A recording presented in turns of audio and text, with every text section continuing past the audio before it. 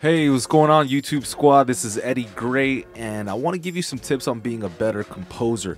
If you know my work, you know I've done a heck of a lot of work in the world of TV, head composer for the Kim Kardashian documentary, along with other shows, and I give a lot of people feedback, I get a lot of emails from various people in the industry, up and comers, seasoned vets, and I often get this one request here. Can you analyze my song? Can you tell me what I'm doing right?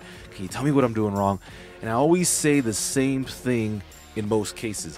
A good idea is to drag in a session into your DAW of choice and literally map out the song with markers.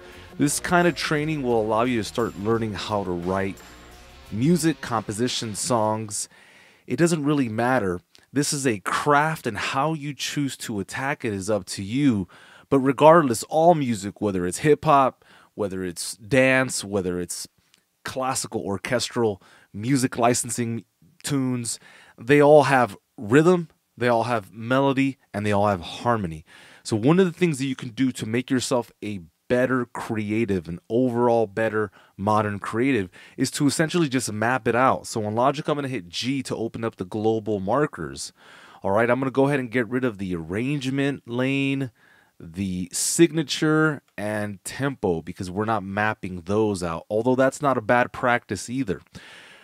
So in this case, here I've got a track that I wrote and I'm just going to map it out. So here we go. Uh, the key command to map something out is option apostrophe. So this just makes it really quick.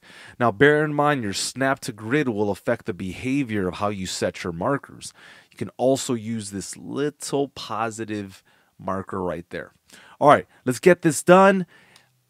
I guarantee you, if you start doing it, it will help you dramatically. Here we go.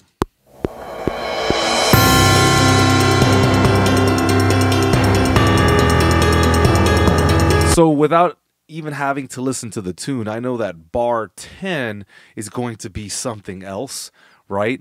And so I can go ahead and start to uh, set this up for myself. So we know this is the intro. If I hit tab, we're kind of in the, uh, let's call it the A section. Of course, this could be the verse or the hook, what have you. Let's keep listening.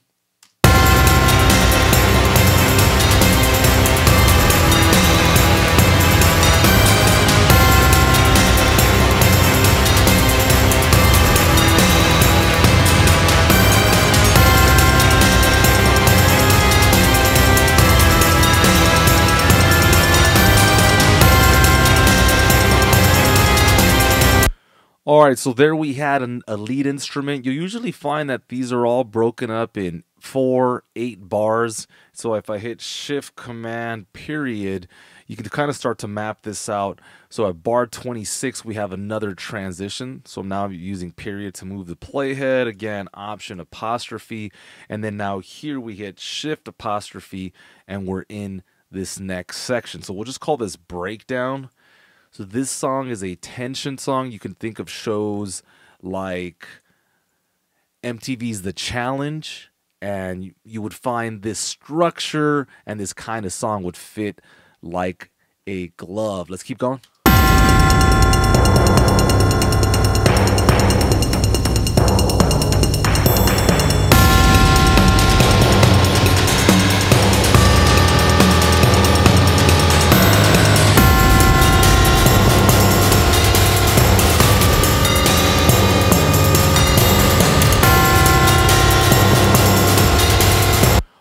Right, well, you guessed it. You know what's coming next. We got the big drop coming in.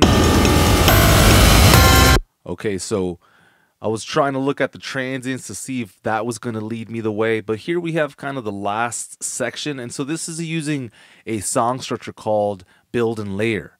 And this is something that I was able to analyze when working with a TV station. I gave a series of seminars based on the work of the modern creative. What do we do? How do we compose? What is a DAW? And I was showing all the music supervisors there uh, what we do. And so here we have the song. There's a takeaway where we eliminate instruments. Then there's a build and rise. Check it out.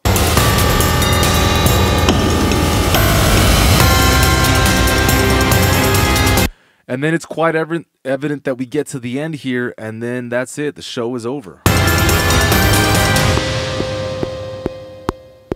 Okay, now here would be the outro or the ending. And that right there is a great study. Now, to take this a step further, if you want to go through each and every one of these tabs and you want to annotate all the instruments that are being used, the time signature, the key if possible, any rhythmic variables, and anything that kind of comes to mind. The idea is to take a step back from the usual creative process and to look at music objectively. And that, in and of itself, will give you a whole new set of standards, uh, a whole new tool set that you can use when you get back in it to write your music. So, hey, thank you very much. This is one tip of many that I will be bringing to the table.